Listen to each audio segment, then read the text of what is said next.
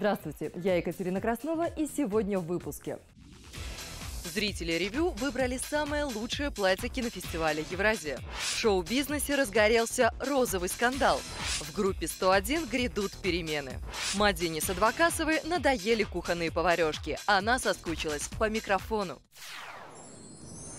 Буквально несколько минут назад закончилось голосование за самое роскошное платье на кинофестивале «Евразия». Наши телезрители, то есть именно вы, проявили сумасшедшую активность. И теперь одна из пяти знаменитостей получит звание самой стильной леди на красной дорожке.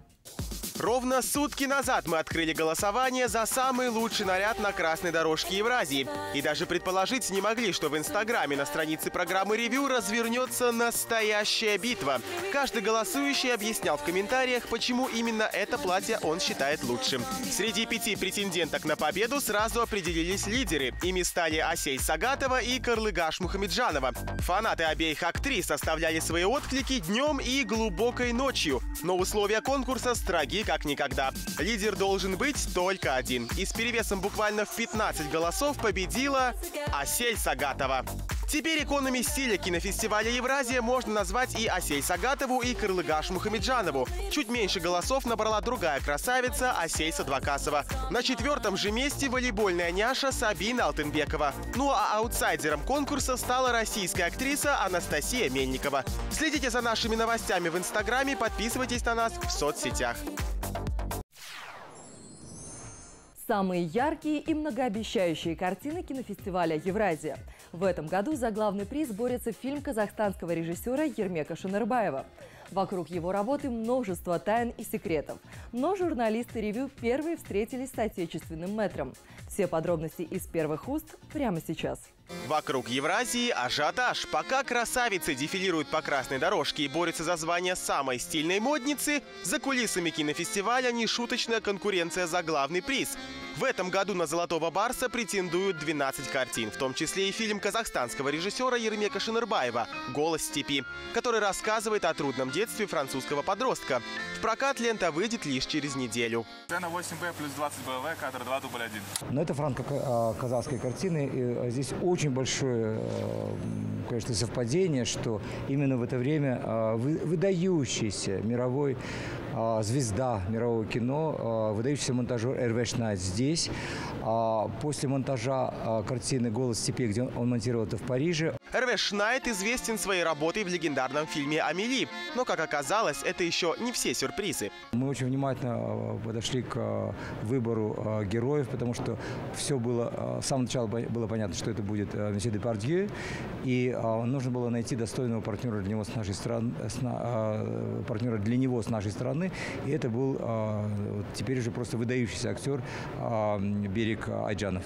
Много говорить о конкурсных фильмах организаторы фестиваля не торопятся. Таким образом, они подогревают интерес киноманов, которых, к слову, ожидается очень много на премьерных показах в рамках Евразии. Известно, что большинство конкурсных работ представлены Европой – Хорватией, Ирландией, Францией и Испанией.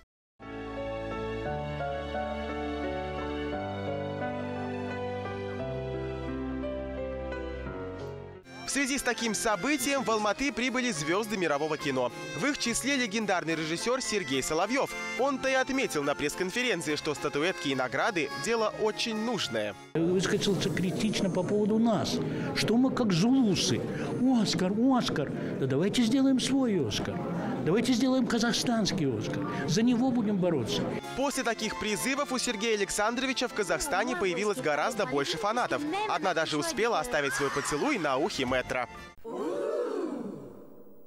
По традиции жюри кинофестиваля режиссеры мирового уровня. Среди них обладатель призов Канского и Венецианского киномарафона Ли Чандон. Лауреат «Золотого льва» Цзят Шанке. От Казахстана в судействе сидит Асанали Ашимов. Итоги конкурсной программы станут известны уже в эту субботу. Артем Абленко, Никита Хасанов. Новости ревю. Принцесса Монако, Кейт Мосс и муж Сальмы Хайек заняли первый ряд на показе Гуччи в Милане. Вообще, эту троицу друзьями не назовешь, но неделя моды объединила всех. Обсудить было что, ведь итальянцы славятся своими брендами и всегда знают, чем привлечь внимание випов. Блестки и деним. Гуччи этим показом решили раз и навсегда объяснить, что джинсы – это не только рабочая одежда, а сверкающие платья можно носить даже днем. Идеям дизайнеров Фриды Джанини вникали Кейт Мосс и Шарлотта Казираги с первого ряда. В Альберто Ферретти пошли уже проверенной дорогой. Представили модели с прозрачными тканями и крупной вязкой. Под таким платьем точно никакой секрет не утаишь.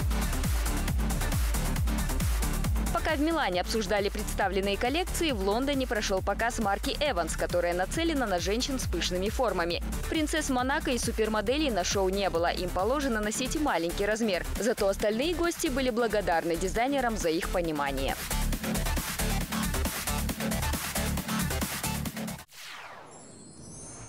Пушистые, стриженные, цветные, короткие, но главное – натуральные. В Алматы прошел показ шикарных изделий из меха. Узнать, какие фасоны будут в тренде, слетелись казахстанские модницы.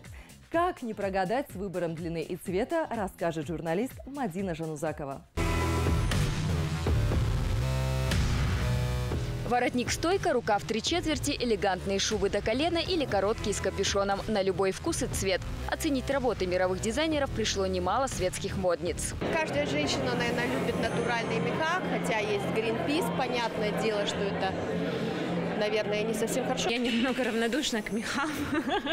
Шуба, которая у меня есть, мне купила моя мама. Изобилие меха на подиуме классические и эксцентричные фасоны. Модные эксперты советуют в этом сезоне выбирать естественные цвета. В тренде черные, белые, серые, лавандовые тона и цвета голубого ириса. Шиншилла, скажем так, позиции давно сдала. Очень популярна чернобурка, очень популярна свакара, очень популярны лисы.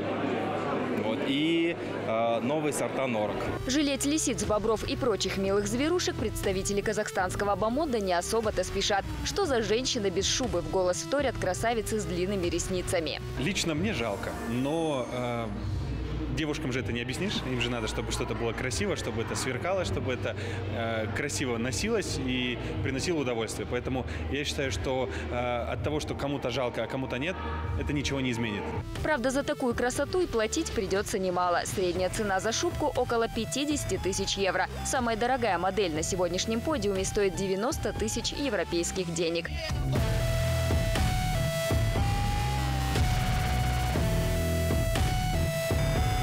Мадина Жанузакова, Ирлан Абдуалиев. Ревю. И если казахстанские знаменитости совсем не жалеют бедняк песцов и норок, то российский дрессировщик Юрий Куклачев готов вступиться за любого котенка. На днях между знаменитым кошатником и светской львицей Леной Лениной разгорелся скандал из-за ее пушистого питомца. Дело в том, что эпатажной писательнице стало скучно жить, и решила она перекрасить белого котенка в гламурный цвет. Кроха тут же стал звездой интернета. Узнал о ней и Куклачев. Циркач обвинил Лену в издевательстве над невинным животным. Ленина отмалчиваться не стала и предупредила защитника. Кот ее и вопросы цвета тоже решать будет она. Не при делах остался лишь гвоздь эпопеи. Розового котенка Лена подарила продюсеру Баре Алибасову. От скандала подальше. Алматым Жюрегимде. В южной столице прошел ежегодный песенный конкурс.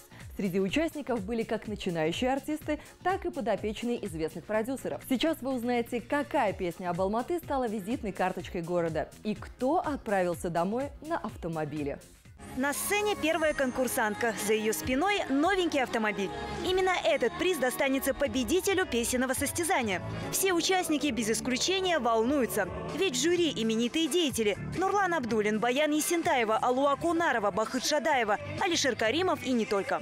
Впрочем, среди зрителей тоже немало звезд шоу-биза. Они пришли поболеть за своих коллег. Этот конкурс для меня занимает особенное место, потому что я сам когда-то участвовал в нем, причем дважды.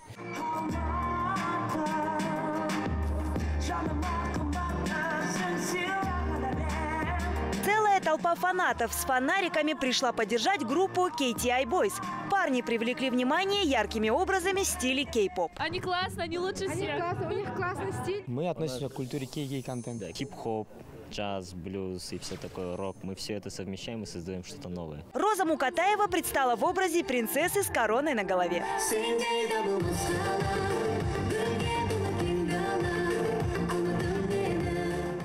Своей песне про Алмату, мы решили вот сделать именно сказку. То есть я принцесса, и вокруг меня, получается, все сказочные персонажи. А вот эта девушка по имени Камшат впервые на большой сцене. Для выступления она выбрала красное платье в пол и сама сочинила песню об Алматы на английском языке.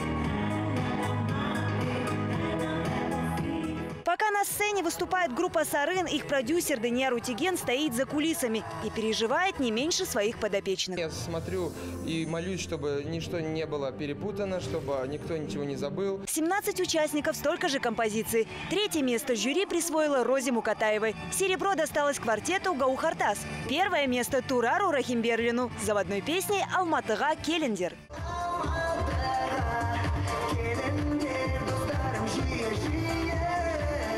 Гран-при присудили дуэту «Арман». Ребятам вручили ключи от автомобиля. Как правило, песня «Победитель Алматым Жюригмде» становится своего рода музыкальным символом города.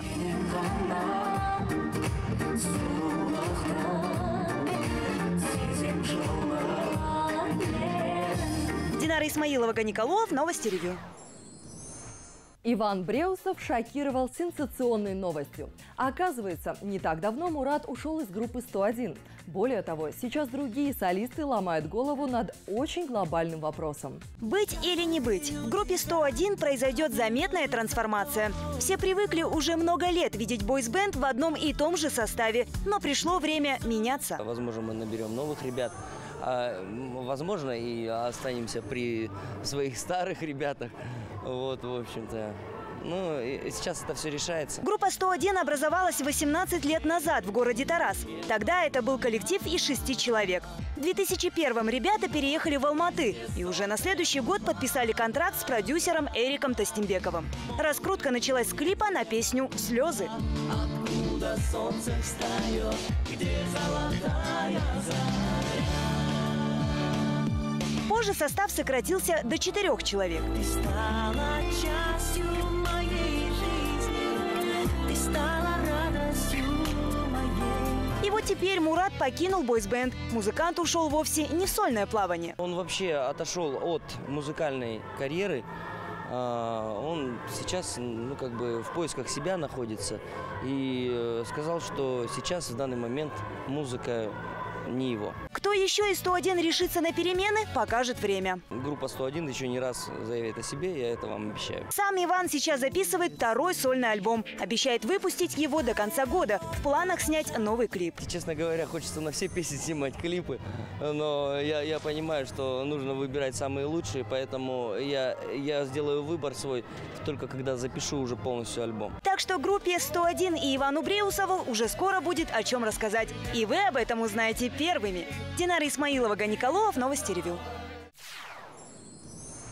Платье привезли за 20 минут до выхода на сцену. Так еще и не подшиты.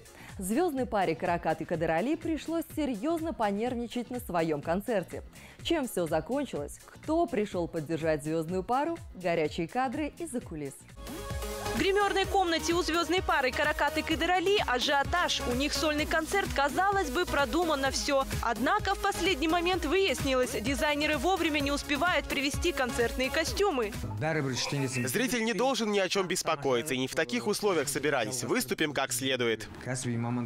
И все-таки чудо свершилось. Мастера предоставили наряды за 15 минут до начала шоу. Рано радоваться, это платье, расшитое камнями, оказалось длинным. А национальный костюм для первого выхода еще не дошит. Пришлось подгонять образы прямо на певице. Потому что вообще не было времени подготовиться. Сами видите, это все ручная работа. Это красота на рукавах, на уборе. На все это уходит много времени. Буквально за 15 минут до выхода их сюда привезли. Несмотря на мелкие неурядицы, концерт начался вовремя. Красавица Каракат вышла к поклонникам во всей красе. В зале Дворца Республики яблоку негде было упасть. Поддержать коллег по цеху пришли казахстанские звезды. Концерт – это дело нелегкое. Несмотря на это, желаю им отличного выступления. Думаю, все пройдет как нужно. Я очень рад, что меня пригласили на этот концерт. Я восхищался творчеством Кадырали, когда он еще пел в АПК.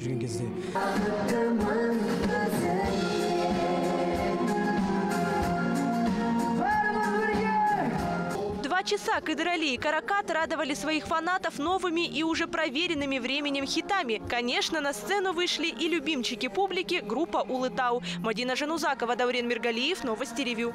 Оторваться и поддержать на сцене свою подружку Каракат решила и красотка Мадина Садвакасова. С появлением малыша певица и вовсе подзабыла о светской жизни. Уже и по сцене успела соскучиться. О домашних хлопотах и семейной жизни в столице она рассказала журналистам.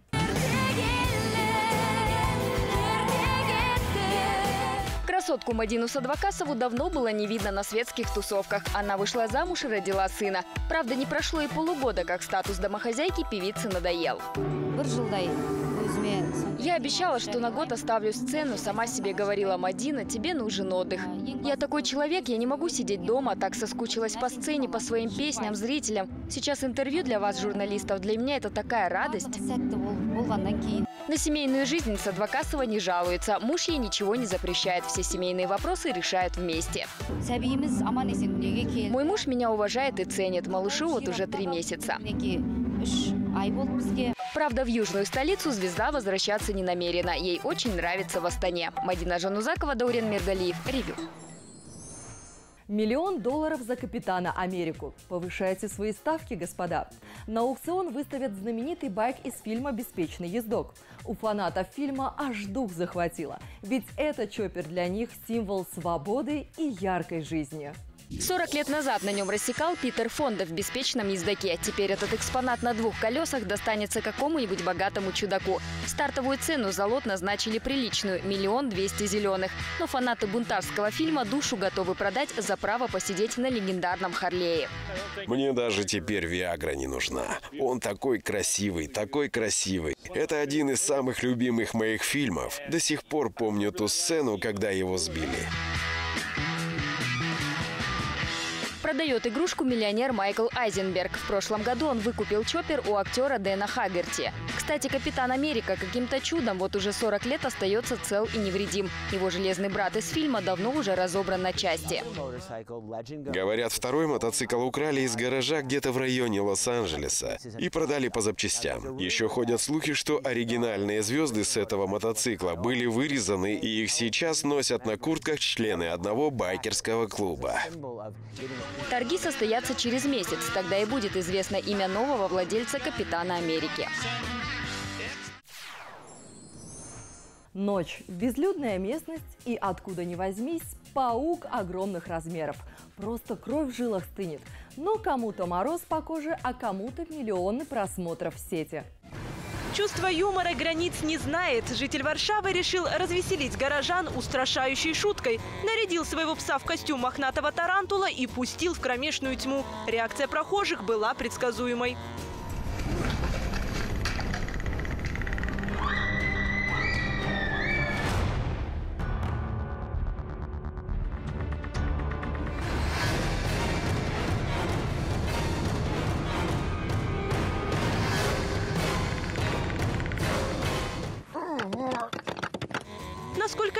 Было убегающим, история умалчивает, но юзеры оценили проделки польского жителя. Более 89 миллионов просмотров.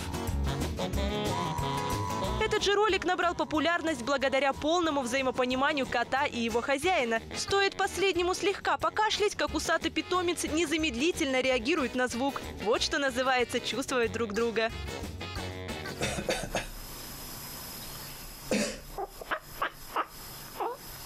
Ну а следующее видео смело можно назвать криком души. Тяжела работа звукорежиссера, ничего не скажешь.